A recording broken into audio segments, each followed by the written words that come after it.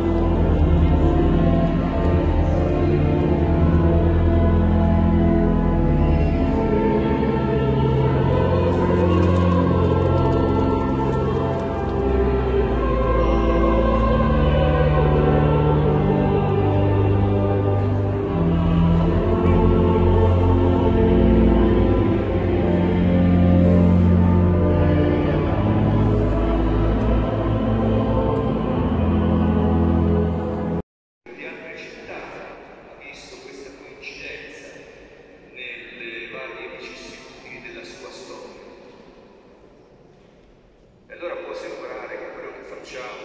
E sul camminare insieme vorrei fermarmi perché una caratteristica di questa processione, che è anche un corteo, è quella di avere